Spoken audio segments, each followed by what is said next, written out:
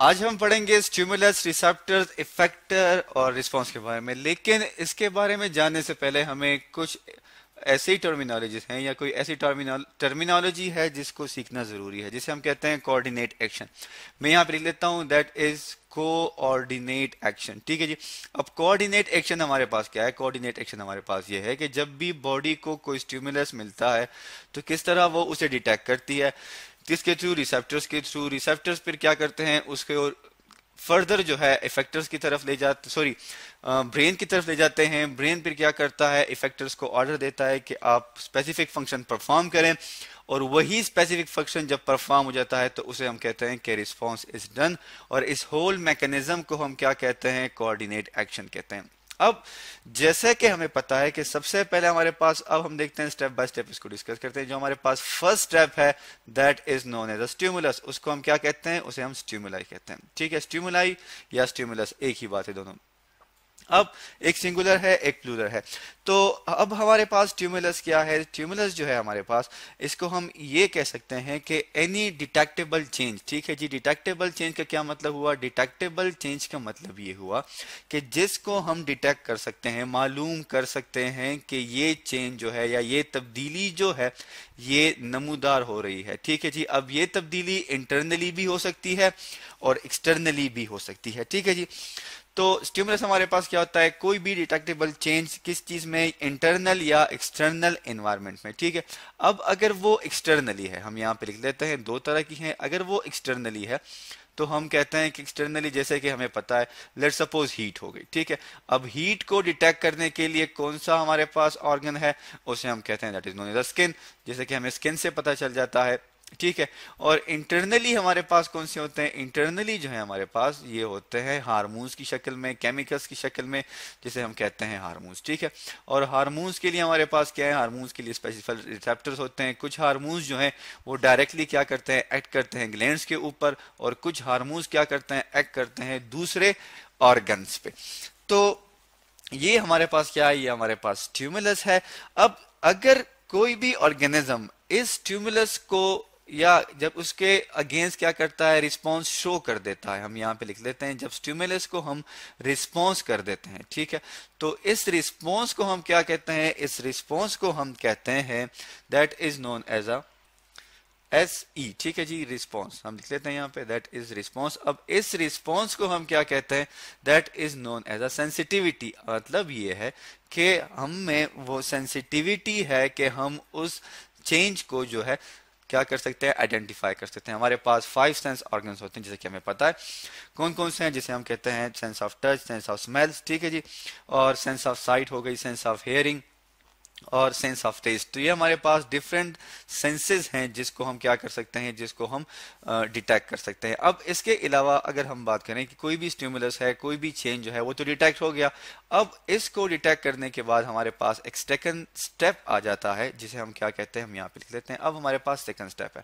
Second step में हमारे पास क्या होगा? अब सेकंड स्टेप में हमारे पास जाते हैं रिसेप्टर्स ठीक है हम यहाँ लिख लेते हैं दैट इज़ रिसेप्टर अब रिसेप्टर हमारे पास क्या है?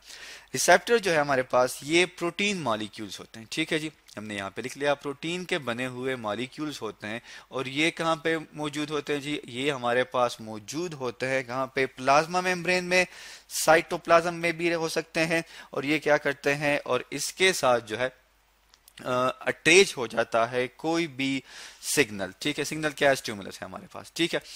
तो अब ये प्रिसेप्टर हमारे पास क्या है? ये प्रोटीन मालिक्यूल हैं, जो कि क्या होते हैं? जो कि एम्बेडेड होते हैं, हम यहाँ पे लिख लेते हैं। एम्बेडेड का मतलब है कि ये जुड़े होते हैं या मौजूद होते हैं किस चीज़ में? Embedded in plasma membrane plasma membrane हमारे पास क्या है? ये हमारे पास मेम्ब्रेन होती है, जो कि सेल की आउटर बाउंड्री होती है, ठीक है? और कंट्रोल करती है किस चीज़ को? एंट्रेंस और एग्जिट ऑफ़ आइंस को। और इसके अलावा ये मौजूद होते हैं किस चीज़ में? साइटोप्लाज्म में, ठीक है? साइटोप्लाज्म की स्पेलिंग को हम थोड़ा सा ठीक कर लेते हैं। दैट इज़ साइटोप्लाज्म तो ये हमारे पास रिसेप्टर्स हो गए। अब हम आगे बढ़ते हैं और हम देखते हैं कि इफेक्टर और रिस्पॉन्स हमारे पास क्या होगा। और अब हम एक डायग्राम ले लेते हैं जिसकी जिससे हमें पता चल सके कि किस तरह एक एक रिस्पॉन्स और उसके अलावा इफेक्टर्स किस तरह अपना फ़ंक्शन परफॉर्म करें। अब जैसे कि आपको इस तस्वीर में नज़र आ रहा है कि अब हमारे पास यहाँ पे आपको आग जलती हुई नज़र आ रही है। ये आग क्या है हमारे पास? ये आग हमारे पास स्ट्यूमुलस है। हम यहाँ पे लिख लेते हैं, ये हमारे पास स्ट्यूमुलाई है या स्ट्यूमुलस है। अब इस आग को डिटेक्ट करने के लिए हमारे पास जो रिसेप्टर्स हैं, वो किसमें मौजूद हैं जी? वो हमारे पास मौजूद हैं स्किन में। मैं यहाँ पे लिख लेता हूँ किस चीज़ में मौजूद है? स्किन में। इसको हम ब्लैक कलर से लिख लेते हैं ताकि ये हमें सही से नज़र आए। ठीक है जी। तो ये दो हमारे पास, आग हमारे पास क्या है? दैट इज़ स्टिमुलस और इसको कौन डिटेक्ट करेगा? इसको स्किन डिटेक्ट करेगा। अब हमारे पास जो है स्किन ने तो इसको डिटेक्ट कर लिया। अब स्किन जो है ये इंफॉर्मेशन पहुँचा देगा। ब्रेन तक। अब ब्रेन क्या करेगा? अब ब्रेन ने जो एक्ट मतलब ब्रेन ने डिटेक्ट कर लिया कि ये जो स्टिमुलस है, ये बॉडी के लिए खतरनाक है, क्योंकि हीट है। अब क्या होगा? अब ये होगा कि ब्रेन इफेक्टर को इंफॉर्मेशन देगा। अब हम पढ़ते हैं इफेक्टर्स हम यहाँ पे लिख लेते हैं। क्या जी? दैट इज़ इफेक्टर्स अब इफेक्टर्स हमारे पास क्या है? या इफेक्टर हमारे पास क्या है? इफेक्टर हमारे पास हैं स्मॉल मॉलिक्यूल्स होते हैं that bind selectively to the protein ठीक है? और रेगुलेट करते हैं किस चीज़ को? अपनी बायोलॉजिकल एक्टिविटी को। या हम ये भी कह सकते हैं कि इफेक्टर जो है हमारे पास कोई भी ग्लैंड हो सकता है, ठीक है? कोई भी ऑर्गन हो सकता है, ठीक है?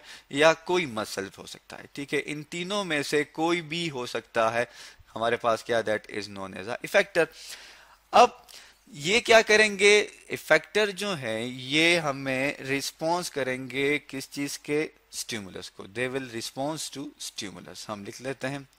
ठीक है that is response to stimulus अब यहाँ पे हमारे पास इफेक्टर्स कौन थे? इफेक्टर हमारे पास थे, जी क्या?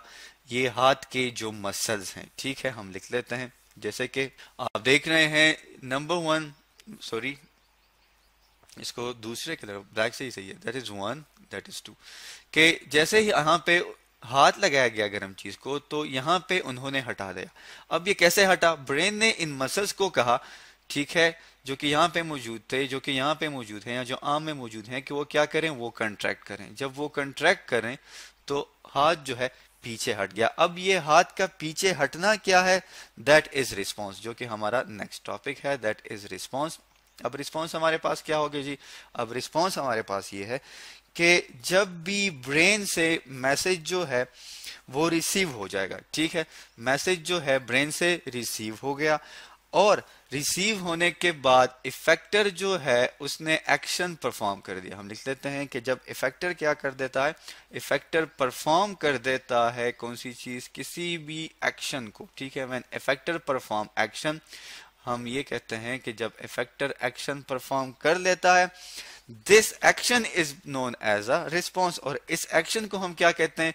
इस एक्शन को हम रिस्पॉन्स कहते हैं। जिसमें आप देख सकते हैं यहाँ पे कि पहले जैसे ही इस गर्म चीज़ को हाथ लगाया गया तो नेक्स्ट स्टेप में उस हाथ को फ़ौरन हटा दिया गया। अब इस हाथ का हटाना क्या था? दैट वाज रिस्पॉन्स ये हमारे पास रिस्पॉन्स था। तो अब हम क्या करते हैं? इसको जनरल सा ओवरव्यू कर लेते हैं कि हमारे पास स्टिमुलस क्या थी जी? हमारे पास आग थी क्योंकि आग क्या है? गर्म होती है, तपिश देती है। ठीक है, उससे हमारे पास ये जो बाउल है जो आपको नज़र आ रहा है, या ये फ्राई पैन है, ये गर्म हुआ।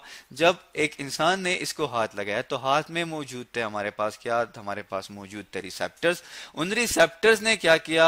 जो कि इस हाथ में मौजूद थे, उसने इस चेंज को डिटेक्ट कर लिया। तो यहाँ से इंफॉर्मेशन गई ब्रेन को ब्रेन ने मसल्स को कहा कि भाई आप कंट्रैक्ट हो जाएँ। जैसे ही मसल्स कंट्रैक्ट हुए अब मसल्स क्या थे? इफेक्टर्स थे। जैसे ही वो कंट्रैक्ट हुए रिस्पॉन्स शुरू हुआ। रिस्पॉन्स क्या था? कि हमने एकदम से जो है, या इस बंदे ने एकदम से अपना हाथ पीछे की तरफ़ खींच लिया। तो that was the topic of today जिसमें हमने पढ़ा स्टिमुलस रिसेप्टर इफेक्टर और रिस्पॉन्स के बारे में।